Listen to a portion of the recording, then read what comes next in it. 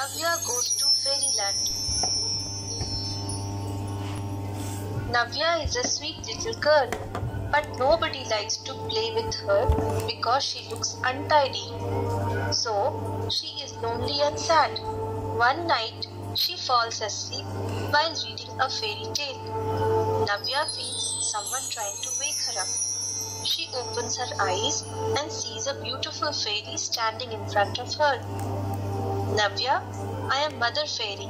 I have come to take you to the fairyland. My fairies will teach you to be neat and clean.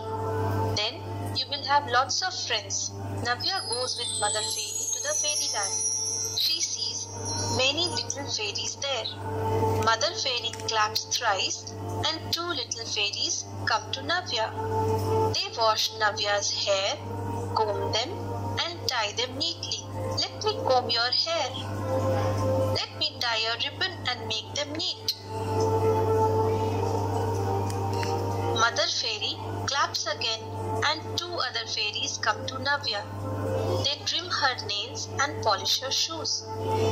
Let me trim and clean your nails.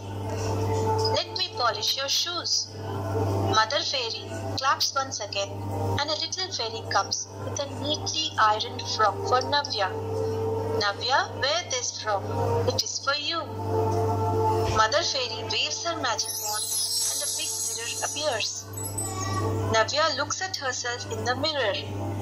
She is looking very pretty.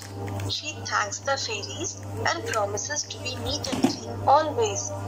The little fairies dance around Navya and sing for her. Little girl Navya, you look like a star. Now you know what you are.